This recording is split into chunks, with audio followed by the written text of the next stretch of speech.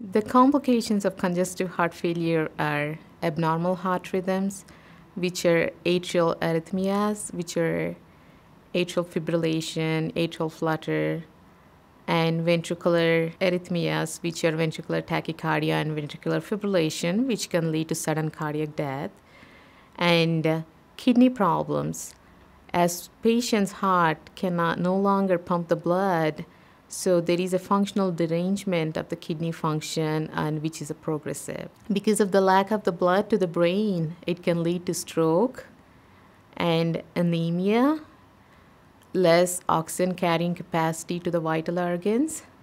And the most important thing, as the disease progresses, the patients develop cardiac cachexia.